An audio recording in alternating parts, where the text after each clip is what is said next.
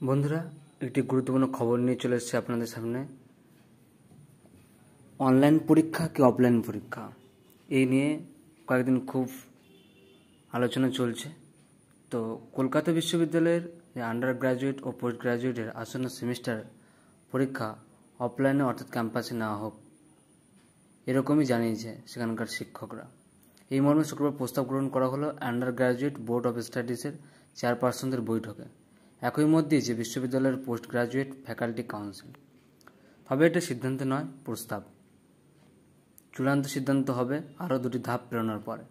কলকাতা বিশ্ববিদ্যালয়ের আওতাভুক্ত কলেজগুলির প্রিন্সিপালরা আগামী সাতাশে মে বৈঠকে বসবেন। সেখানে কলেজগুলি তাদের অভিমত জানাবে। সেই বৈঠকের বক্তব্য এবং আন্ডার গ্রাজুয়েট বোর্ড অব স্টাডিজের চেয়ারপারসনদের বৈঠকে গৃহীত প্রস্তাব এবং কলেজগুলির বক্তব্য পেশ করা হবে তেসরা জুন।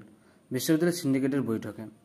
সেখানেই চূড়ান্ত সিদ্ধান্ত হবে পরীক্ষা অফলাইন নাকি অনলাইন হবে।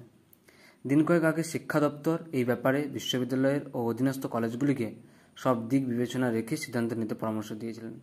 তারপর অনেকগুলি বিশ্ববিদ্যালয় অনলাইনে পরীক্ষা নেওয়ার সিদ্ধান্ত নেয়। কিন্তু যাদবপুর ও রবীন্দ্রভারতী বিশ্ববিদ্যালয় পুরাদের অনলাইন পরীক্ষার দাবির মুখেও অফলাইন পরীক্ষা নেওয়ার সিদ্ধান্ত অনড় রয়েছে। রবীন্দ্রভারতী পড়ুয়ারা উপাচার্য সব্যসাচী বসু রায়চৌধুরীকে ঘেরাও করে। তার ঘরের দরজায় লাথালাথি করে ঘেরাও হন শিক্ষকরাও। কিন্তু সিদ্ধান্ত থেকে উপাচার্য এবং শিক্ষকরা সরে আসেননি। তারা স্পষ্ট জানিয়েছে অফলাইনেই পরীক্ষা হবে। পুরো একই চিত্র।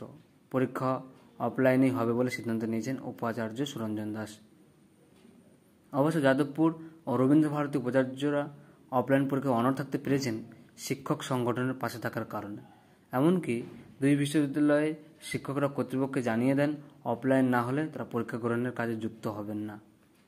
কলকাতা বিশ্ববিদ্যালয়ের শিক্ষক সংগঠনও একই পথে নিয়েছেন তারাও কর্তৃপক্ষকে জানিয়েছেন, পরীক্ষা যেন অফলাইনে না হয়।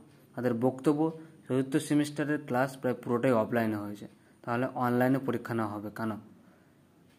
কিন্তু এখানে একটা বিষয় অবশ্যই সংযোজন করা দরকার, যে চতুর্থ সেমিস্টারের যে ক্লাস সেটা অফলাইনে হলেও সেমিস্টারটা যেখানে ছ মাসের হওয়ার কথা, সেখানে তিন মাসে সেটা কোর্সটা কমপ্লিট করা হচ্ছে। আর এখনও অনেক কিছুই এখনও কমপ্লিট হয়নি অনেক কলেজের।